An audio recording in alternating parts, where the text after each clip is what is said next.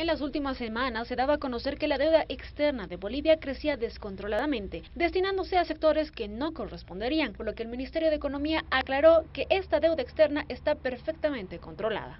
Decía que es importante relacionarlo con el Producto Interno Bruto porque eso nos da la medida de la capacidad de pago que tiene la economía.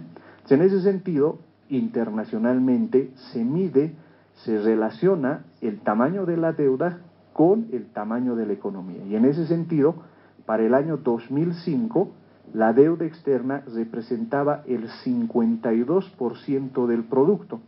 Para el año 2017 representa el 24,9% del producto, ¿no? Se recordó que la deuda externa en 2005 correspondía a 4.947 millones de dólares, los cuales en su mayoría eran destinados para el pago de salarios. Actualmente la deuda externa es de 9.428 millones de dólares, que se destinan a los sectores de salud y educación. Bueno, lo primero que hay que aclarar es que es el momento de hacer las comparaciones, es que estamos hablando de una economía que se ha cuadruplicado.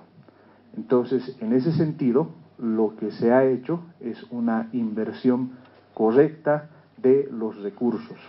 Sin embargo, también se debe considerar que el destino de la deuda es fundamentalmente educación, infraestructura y salud.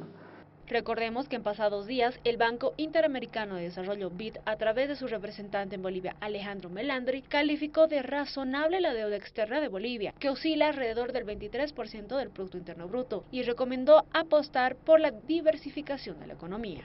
En ese sentido, gracias a la buena imagen que ha tenido Bolivia en los últimos años, es sujeto de crédito. Y como es sujeto de crédito, entonces hemos logrado acceder a los mercados internacionales con bajos, bajas tasas de interés y largos plazos. Por su parte, el Banco Central de Bolivia ha señalado que el límite internacional de deuda externa con respecto al Producto Interno Bruto es del 50%, porcentaje definido por la comunidad andina CAN. Bolivia está bastante por debajo del margen del límite.